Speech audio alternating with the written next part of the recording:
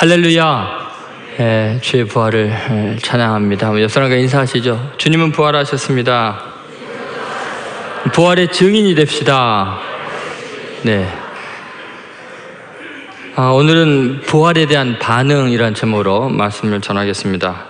성 어거스틴의 어머니 모니카가 있습니다. 이분이 북아프리카 카르타고에서 태어난 태어났고 남편 이 묻힌 그 고향에 돌아가서 묻히는 게 소원이었습니다. 그런데 어, 그 아들 어거스틴이 이태리에서 목회를 하다 보니까 갈 수가 없습니다. 근데 임종 직전에 그 어머니의 소원을 잘 알고 있는 그 아들 어거스틴을 위해서 이런 이야기를 합니다. 부활이 있기 때문에 나는 어디에 묻혀도 괜찮다, 아들아. 여러분, 부활이 있기 때문에 어디에 묻혀도 괜찮다. 여러분, 세월호 3주기를 맞이하면서 정말 부활을 믿는다면 어떤 상황이든 어디에 있든 사랑하는 사람을 잃어버린 아픔이 너무 커도 영원한 것이 아니니까 다시 부활해서 만날 테니까 반드시 위로를 받고 승리를 할 수 있는 줄로 믿습니다. 여러분도 마찬가지고 저도 마찬가지입니다. 저도 너무너무 그리운 어머니를 일찍 잃었습니다. 부활이 있기 때문에 괜찮습니다. 너무나 아파하시고 힘들어 하셨지만 선술 방법이 아무것도 없었습니다. 그러나 우리는 부활이 있기 때문에 결코 절망하지 않습니다. 어디에 묻혀도 괜찮습니다. 거기가 영원한 처소가 아니니까 그렇습니다. 그 부활의 영광스러운 그 소망, 정말 부활 그 한 가지만으로요, 우리는 인류의 모든 난제들을 다 해결할 수 있습니다. 너무나 놀라운 소망을 주는 것이 궁극적인 이 부활입니다. 그런데 놀랍게도 그 엄청난 부활의 소망 앞에서 사람들의 반응이 너무 다릅니다. 오늘 본문에 나오는 그 부활에 대한 반응은 세 가지 종류로 나누어집니다. 첫 번째 반응은 그 여인들의 반응이죠.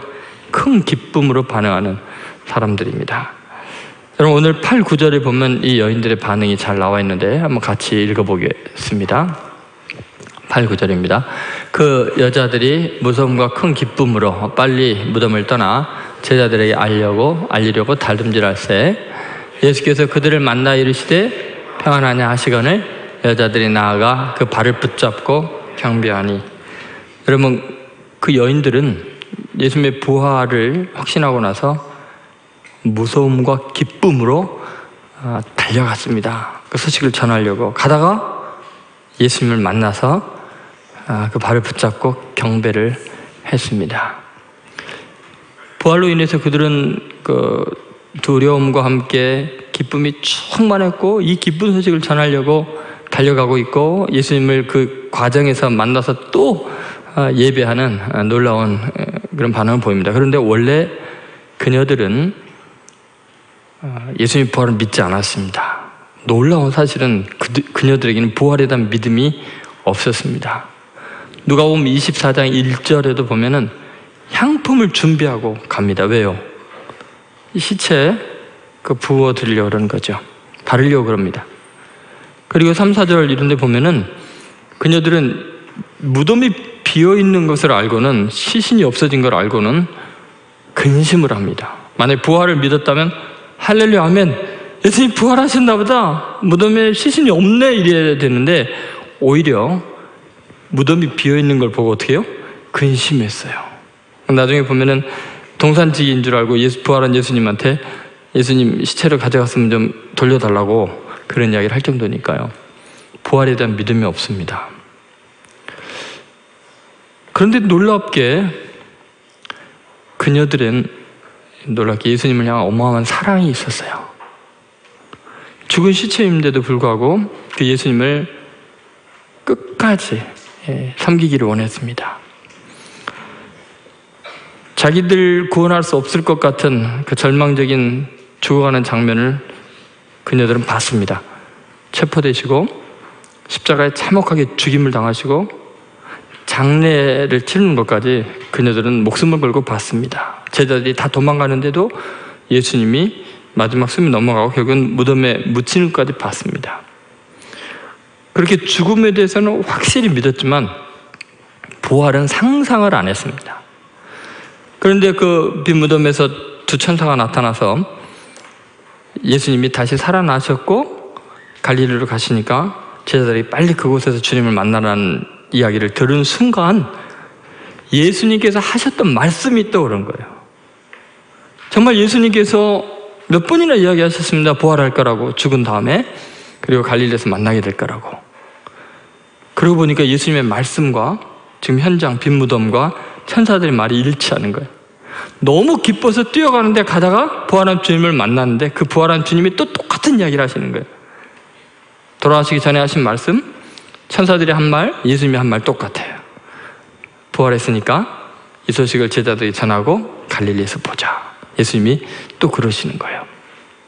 여러분, 그녀들은요, 도저히 거부할 수 없는 명확한 증거 앞에서 자기들이 체험한 이 진리를 기쁨으로 전하게 되지요. 여러분, 우리 인생에 있어서 부활의 증거만큼 아, 확실한 것이 얼마나 있을까? 사실 우리가 매 주일날 이렇게 예배 드리는 거는요, 기적입니다. 원래 안식일, 그게 무슨 요일이죠? 토요일에 예배를 드려야 되거든요. 근데 우리는 주일에 예배를 드립니다. 왜요? 주일은 무슨 날이에요? 예수님이 부활한 날이고, 부활을 기념하기 위해서 주일에 예배를 드리는 거예요. 여러분, 주일에 예배 드리는 것 자체가 예수님이 부활하셨습니다라는 신앙 고백이에요. 그래서 주일날 예배를 드리면서 예수님이 날 위해 죽으셨고, 예수님이 다시 살아나셨다는 것을 증거하는 그런 증인의 삶을 사는 거죠. 그러니까 예배 자체가 부활에 대한 세상을 향한 외침이 되는 거예요. 주일에 예배 드리는 것 자체가 어마어마한 선언이죠. 또 여러분, 우리는 예배를 드리면서 말씀을 통해서 하나님의 사자의 말을 통해서 기록된 성경의 말씀과 일치하는 놀라운 부활에 대한 증거들을 갖고 지금 살아계신 주님이 나 같은 죄인에게 나타나다는 확신을 얻게 됩니다. 그녀들이 어떤 상태에 있었을까요? 왜 그녀들은 그렇게 예수님을 사랑했을까요? 사실은 가장 절망적인 상태에 있었던 사람입니다. 막달라 마리아는 일곱 귀신이 들렸던 정말 제정신으로 살 수 없을 만큼 고통스러운 삶을 살아서 정신병원에 일곱 번 입원할 정도로 아니 귀신이 일곱 마리나 들어갈 정도로 절망적인 삶이었습니다. 또 자기 몸을 팔아서 근근히 목숨을 유지하는 가장 더러운 여자로 낙인 찍힌 여자였습니다. 도저히 그 시대, 그 사회에서 살 수가 없는 자기가 자기를 봐도 벌레처럼 더럽고 삶이 짓밟힌 초라한 인생이었습니다. 그런데 주님을 만났는데 그 주님이 자기를 고귀한 여자처럼 대해주는 거예요. 세상 모든 사람이 손가락질 하는데 자기 자신도 자기를 용납할 수 없는 죄인인데 주님은 그녀를 보호해 주셨어요. 어쩌면 그 여인 중에 한 명은 가나마다 현장에 잡힌 여인일지도 모르죠. 돌로 쳐서 죽이려고 하는데 주님이 오히려 그들이 죄인인 걸 드러내시고 그녀를 지켜주셨어요. 나도 너를 정죄하지 않는다.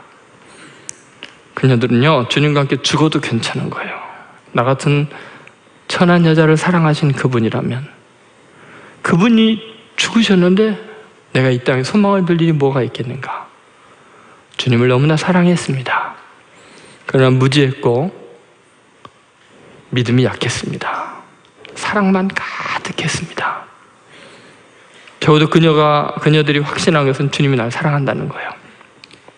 부활한 주님이 바로 그런 그녀들에게 믿음을 심어 주셨습니다. 사명을 주셨습니다. 여러분 그녀들이 가진 이 부활에 대한 확신이라는 것은요 이름 말할 수가 없습니다. 이거 부인하거나 거부할 수가 없어요. 우리도 부활에 대한 증거는 너무 명확해서요 거부할 방법이 없습니다. 어느 정도까지 그 부활이 명확하냐면요 이 봄이 되면요 온 우주 만물이 부활에 대한 은유와 비유로 가득합니다. 모든 만물이 전부 다 예수님 부활하셨습니다 하고 외치는 것 같은 느낌 들지 않으세요? 여러분 하나님께서 만물을 만들 때 처음 창조부터서요 부활의 계시를 만물 속에 가득 담아 두셨습니다. 내 아들이 이렇게 죽은 가운데 부활할 거고 너희들도 절망 가운데 부활할 거다 의심할 수 없도록요. 처음 창조부터서 아주 부활을 갖다가 만드신 피조물 하나하나마다 다 새겨 넣으셨습니다. 생각해 보세요. 여러분 봄이 되면 설레이지 않아요? 저 마른 바싹 마른 가지에서 우미 돋을까 벌써 막 파릇파릇하게 연두색으로 변화되고 있죠. 아니 처음부터 나뭇잎 만들어 놓지. 여러분 우리 조화 만들 때 인간이요 시들게 만들어요. 조화 만드는 거 보면은 안 시들게 만들잖아요. 여러분 꽃이 잠깐 피었다가 벌써 벚꽃 막 지잖아요. 아깝잖아요. 왜 그렇게 했어요? 하나님께서요 바싹 마른 것 같은 절망적인 겨울 같은 세월이 있지만 봄의 부활의 영광을 온 만물에 새겨놓은 거죠. 뭐 지난번에도 말씀드렸습니다만 여러분 하늘을 나는 잠자리 처음에 물속에 사는 유충이 어느 날 하늘을 나는 잠자리가 되는 거 아니에요. 매미, 굼벵이가 7년을 땅을 기어다니다가 어느 날 등껍질이 갈라지고 나무 중간에 붙어 있다가 하늘 날 매미로 바뀌는 거 아니에요. 그 징그러운 벌레가 꽃보다 아름다운 나비로 변화되는 거 아니에요. 그 봄의 어느 시점에. 왜 처음부터 나비 만드시고 잠자리 만들고 매미 만들지 않고 아니 그 벌레들이 얼마나 고생하겠어요. 굼벵이가 얼마나 땅속에서 고생하겠어요. 왜 그렇게 만드셨냐고 왜? 전부 다 부활에 대한 이야기 아니에요. 너가 물속에 있던 땅 위에 있던 땅 밑에 있던 결국은 찬란히 하늘을 나는 존재들이 될 거라는 거예요. 여러분 온통 온 세상에 부활의 메시지가 가득한데 어떻게 부인하실래요? 아무리 내가 벌레 같고 아무리 내가 땅속을 기는 것 같이 인생이 묻힌 것 같이 절망적이어도 주님 오실 그날 호련히 변화된다니까요. 하늘을 나를 노래하는 존재가 될 줄을 믿습니다. 그녀들이 지금 그 부활의 실체를 본 거예요.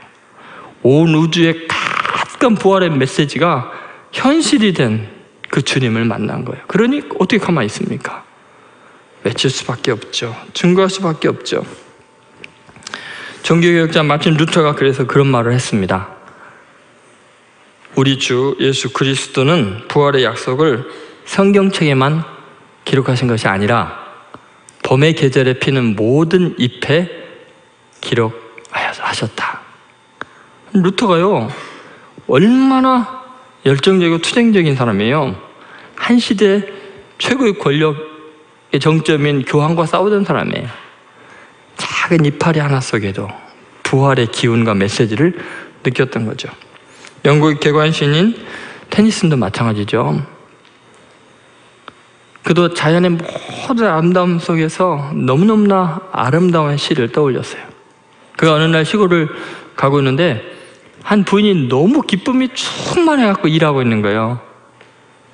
그래서 텐슨이 다가서 물어봤어요. 너무 행복해하고 너무 기쁨이 충만하니까 오늘 무슨 굉장히 좋은 소식을 들으셨나 보죠. 무슨 좋은 소식 때문에 이렇게 행복하십니까? 그랬더니 좋은 소식이요? 저는요 한 가지 소식밖에 몰라요. 우리 주 예수님이 나를 위해 십자가에 죽으시고 그분이 영원히 부활하셨다는 그 사실이요. 그랬더니 테니슨이 이런 말을 했습니다. 부인, 그것은 오래된 소식이자 새로운 소식이며 정말 좋은 소식입니다. 여러분, 우리 부활에 대한 소식은 아주 오래됐습니다. 하나님이 창조할 때부터 시작이 된 거예요. 그리고 2000년 기독교 역사에 계속 들려오던 소식이에요.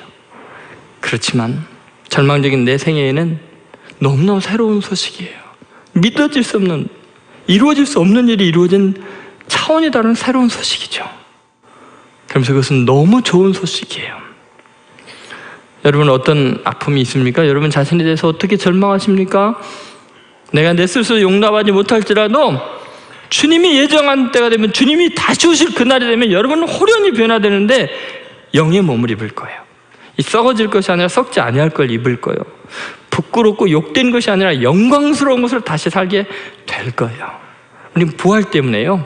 지금 이 땅에서 불구가 되어도 버림을 받아도 억울하게 죽임을 당해도 그 잠깐이에요. 왜냐하면 영원의 날에서 영원한 아름다운 하나님의 자녀의 권세를 가지고 왕 같은 제사장으로 승리할 줄로 믿습니다.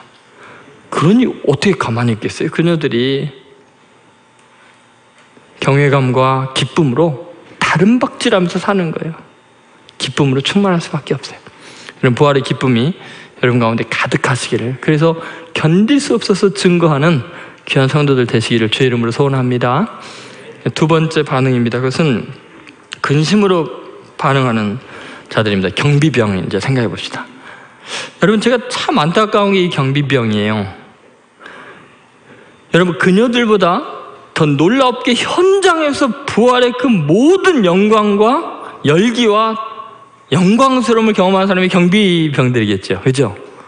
뭐 천사가 나서 돌을 옮기고 예수님이 부활해서 나오고 이 모든 걸 본 사람들이 경비병이에요.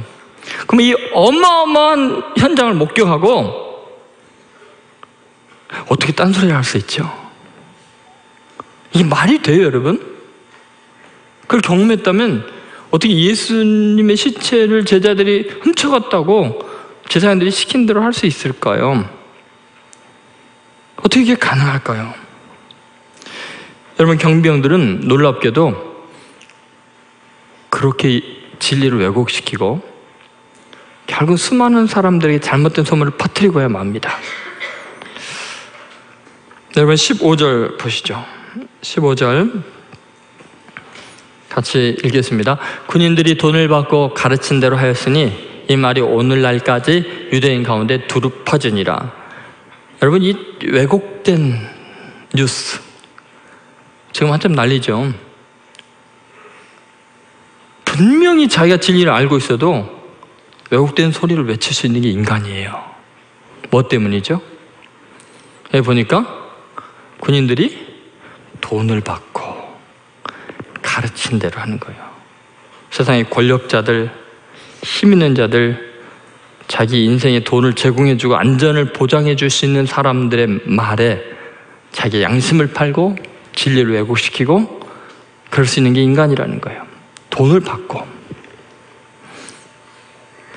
여러분, 만약에 그 돈 안 받았으면 어땠을까? 경비병들이 돈을 주는데 나 그런 거 필요 없습니다. 내가 보고 들은 것을 말하지 않을 수 없습니다.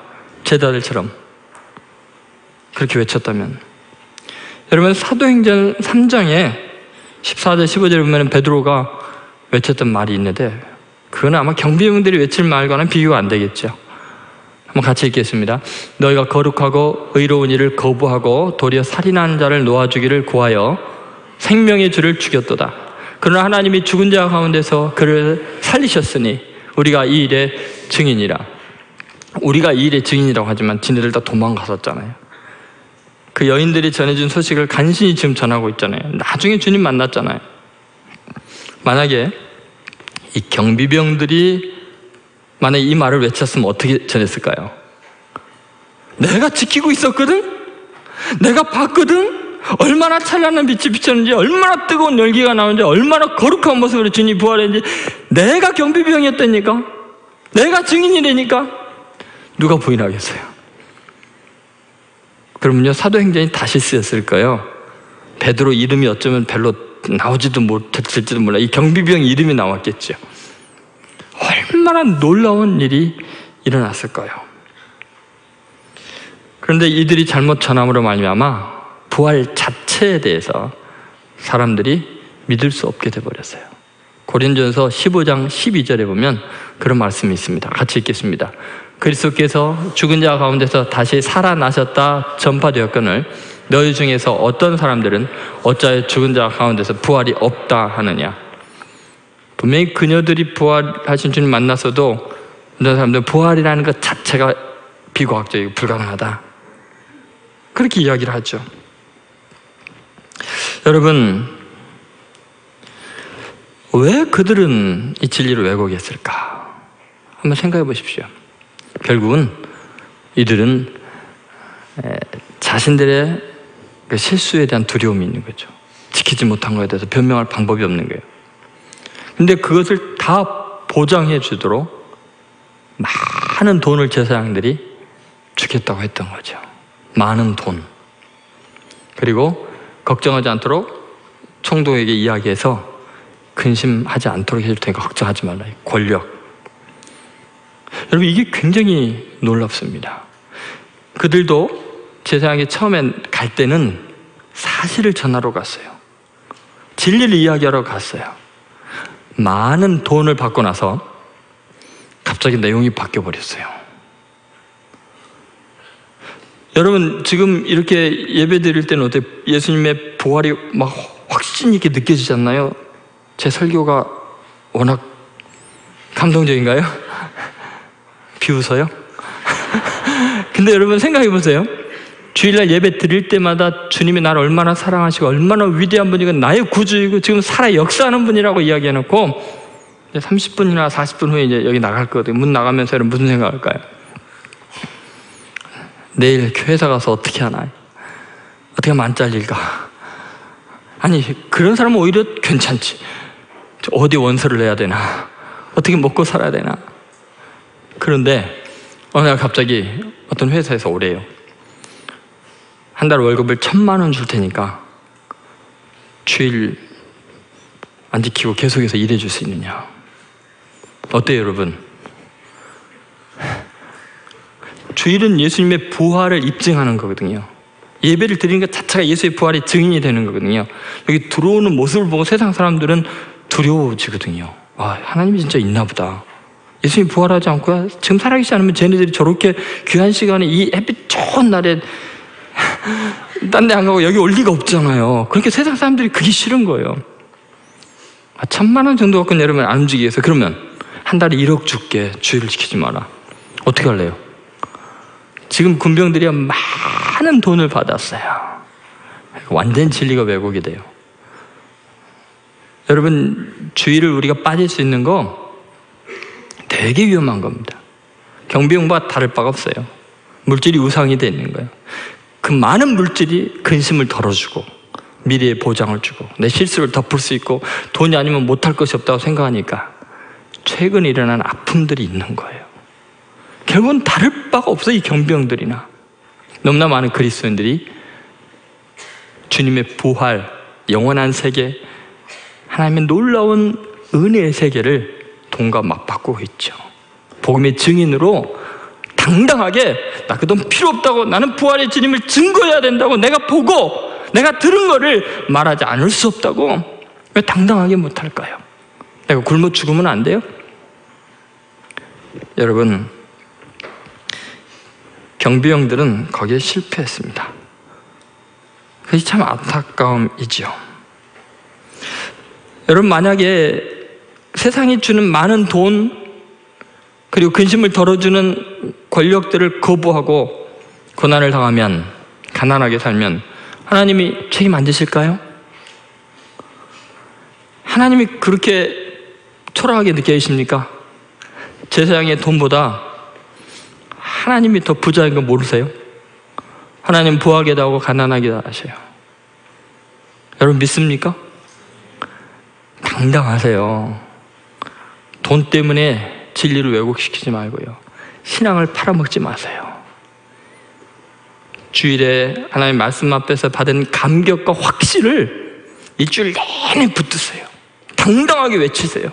아무리 초라해도 아무리 부끄러워져도 너나 잘 살아라고 욕을 해도 괜찮다고. 나는 내가 만난 예수님 부인할 수 없고 나 같은 죄인을 사랑하시는 그분 거절할 수가 없노라고. 여러분 끝까지 믿음으로 승리하시기를 주의 이름으로 소원합니다. 세 번째, 은폐로 반응하는 자들이 있어요. 오늘 나오는 이 제사장과 장로들입니다. 여러분 12절부터 14절에 그들이 하는 말을 한번 들어보시죠. 그 경비용을 만났을 때 그 진리를 듣고서 아, 하는 말입니다.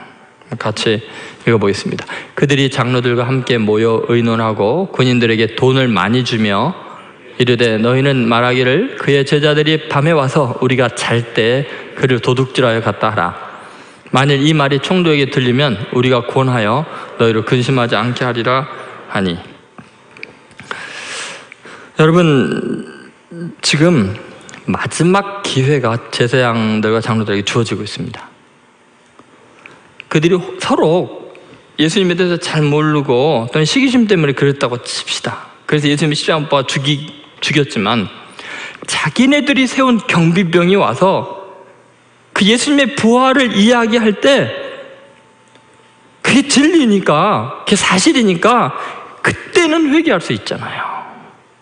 제자들이 증거한 게 아니라 자기들의 경비병이 자기들의 부하들이 지금 그런 거거든요. 그때는 회개할 수 있잖아요.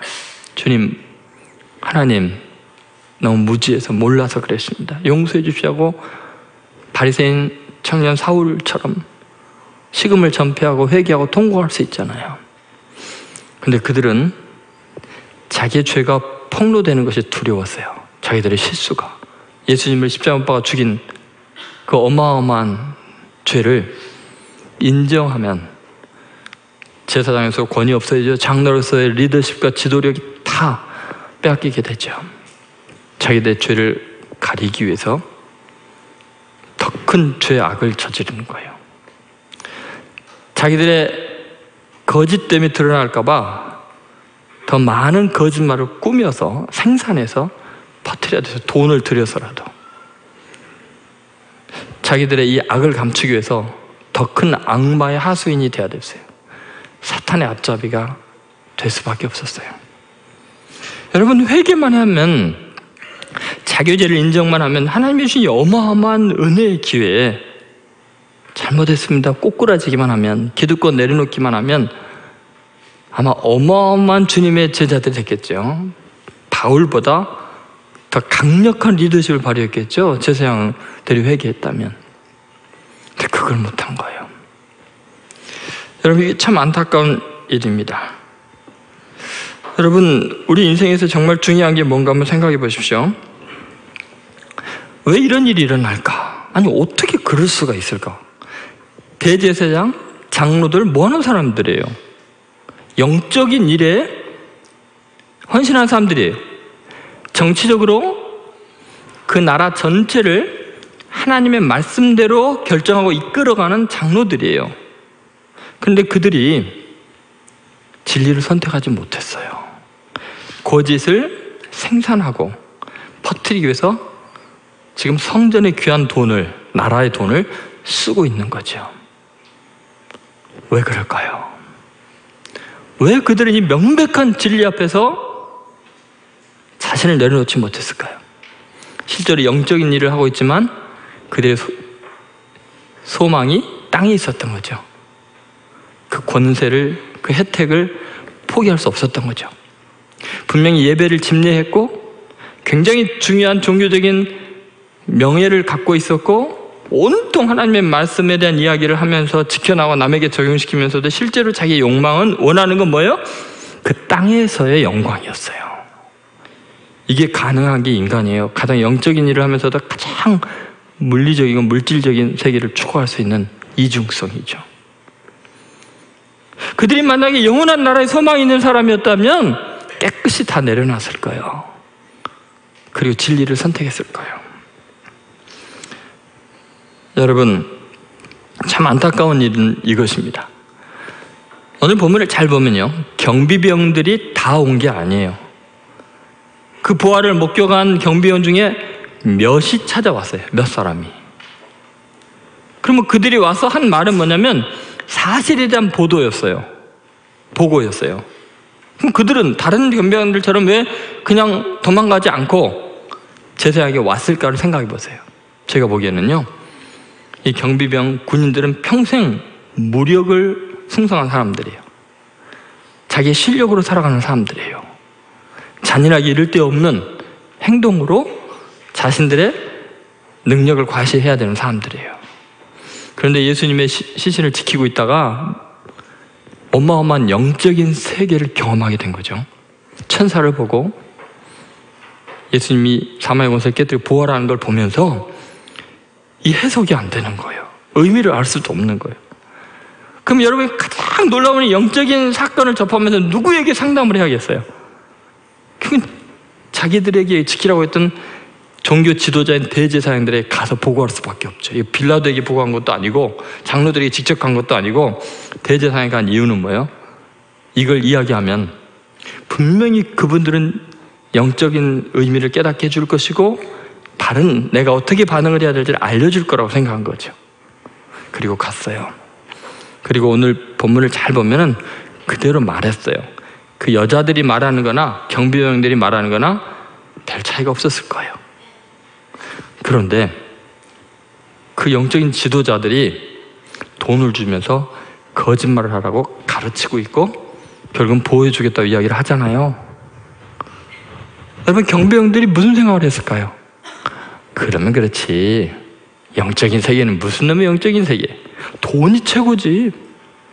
그 권력이 있으니까 야, 이 시체를 잃어버려도 보호받을 수 있네.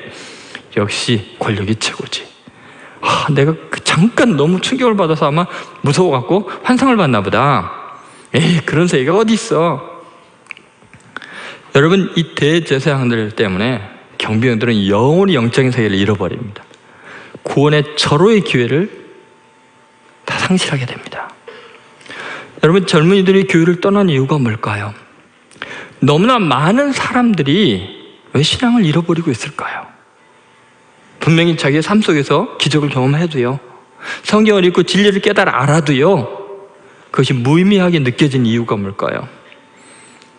너무나 많은 크리스천들이 권력을 하나님보다 더 의지하고 돈을 더 추구하는 모습을 보니까 에이 있을 리가 없어. 내가 잠깐 뭐 그런 경험을 했지만 뭐 그리고 뭐 그게 무슨 정신적인 무슨 작용이겠지 뭐. 영적인 세계를 다 잃어버립니다. 여러분 이게 얼마나 두려운 현실인지 모릅니다. 여러분 생각해 보세요. 지금 누구의 손을 잡을까? 하나님의 기회였습니다. 사탄의 유혹이기도 합니다. 경비병들이 찾아온 것이. 여러분의 삶에서 반드시 기억해야 될 게 그런 겁니다. 여러분, 절대로 신앙인으로서 양심을 잃어버리면 안 됩니다. 사탄은 우리가 회개하지 않는 죄를 가지고 우리를 집요하게 물고 늘어집니다. 내가 과거에 실수한 것 가지고 단호하게 내 자신을 부인하고 영원한 세계를 사모할 적에 우리는 죄의 유혹으로부터 승리할 수 있습니다. 여러분 이제 직장에서 순간순간 이 선택의 기로에 놓이게 될 거예요. 삶의 현장이 그렇습니다. 늘 그렇습니다. 독일의 유명한 복음주의 신학자 중에 한 사람인 에리 사워라는 분이 이런 이야기를 했어요. 부활절은 예수님의 부활로부터 시작하여 우리 성도들의 부활로 끝난다. 그러므로 우리는 두 개의 부활절 사이에 살고 있다. 예수님의 부활과 우리의 부활 사이에 우리가 살고 있다는 말이다. 그러므로 우리는 예수님의 부활이 주는 믿음의 능력을 가지고 우리의 부활을 향해 달려가는 사람들이야. 그녀들처럼 부활을 증거하며 우리의 부활을 바라보면서 달려가는 사람들입니다. 주님이 부활하신 것이 진리라면 여러분도 반드시 호련이 다 변화돼서 영원한 몸을 입을 줄로 믿으시기 바랍니다. 그래 여러분 이제 부활에 대한 반응이 좀 달라졌으면 좋겠어요. 정말 이 문을 나가는 수, 이, 나간 순간에 지난주하고는 달라야 돼요. 내일 월요일이 지난 월요일과 다르게 직장인들이 느껴져야 돼요. 와, 저분은 정말 믿는 사람이구나. 주님이 함께하는 사람이나 요셉이 감옥에서나 보디발 장군의 집에서나 주님이 함께 있는 걸 사람들이 안 것처럼 성령에 감동된 것이 느껴진 것처럼 여러분 부활한 주님과 동행하는 삶을 사셔야 돼요. 부활의 증인이 돼야 돼요. 예수의 부활을 믿고 나의 부활을 믿는다면 이 땅에서 어떤 물질적인 손해와 어떤 억울한 일을 당해도 주님을 찬양하고 끝까지 사랑하고 축복하고 승리할 수 있는 줄로 믿습니다. 그렇게 부활의 증인들로 이 땅을 치유하고 또 위로하면서 이 땅에 산 소망이 되는 여러분 되시기를 주의 이름으로 축원드립니다. 기도하겠습니다. 오늘 말씀을 붙들고 주님 앞에 여러분 결단의 기도를 하시기 바랍니다. 혹시 여러분 우리는 부활의 주님을 만나기에 부끄러운 죄인들이 아닙니까? 그래도 괜찮습니다. 우리는 살아계신 하나님을 여전히 의지하고 믿는 사람들입니다. 부활의 주님을 기대하는 사람들입니다. 이 시간에 주님께서 우리 가운데 역사하시는 놀라운 은혜를 바라보십시오. 여러분 이 시간에 주님께서 부활하셨다는 걸 진심으로 믿는다면 지난 과거의 삶이 어때도 아무리 부끄러워도 실패한 것 같아도 영원한 승리자가 되는 줄로 믿습니다. 주님 그 부활이 나의 소망이 될 줄로 믿습니다. 기뻐하며 달려가며 살아가는 인생이 되도록 주님 내 마음을 붙잡아 주옵소서. 주님 이 시간에 주님께 간절히 기도하기를 원합니다. 주님 이 시간에 특별히 주님의 은혜 안에서 다시 한번 결단하기를 원합니다. 많은 돈이 권력이 내 근심을 덜어주는 게 아니고 영원한 부활의 소망이 영원히 근심을 떠나가게 하는 하나님의 은혜인 줄로 믿습니다. 주님 이제는 부활한 주님과 동행하고 승리하는 삶이 되게 해주시고 이해할 수 없는 사건과 아픔과 벗어날 수 없는 상황 속에서도 끝까지 주님을 사랑하고 부활의 주님과 함께 승리하는 삶이 되게 하여 주옵소서. 같이 한번 통성으로 기도하겠습니다. 하나님 아버지, 이 시간에 주님께서 역사해 주시기를 원합니다. 하나님 아버지, 우리에게 은혜를 베풀어 주시기를 원합니다. 주님, 이 시간에 한 사람 한 사람 심령 심령 부활의 주님과 동행하게 하시고 낙심하지 않게 하시고 좌절하지 않게 하시고 세상과 타협하지 않게 하시고 부활의 주로 인해서 주님께 영광을 돌리게 하여 주옵소서. 시간에 우리 가운데 임하시고 하나님 우리를 다스려 주시옵소서. 하나님 제 마음에 부활의 주와 동행하고자 하는 열정을 주시고 주님의 부활을 증거하며 세상과 타협하지 않는 복된 인생이 되게 하여 주옵소서. 주님을 기대하고 주님을 참아합니다. 감사합니다.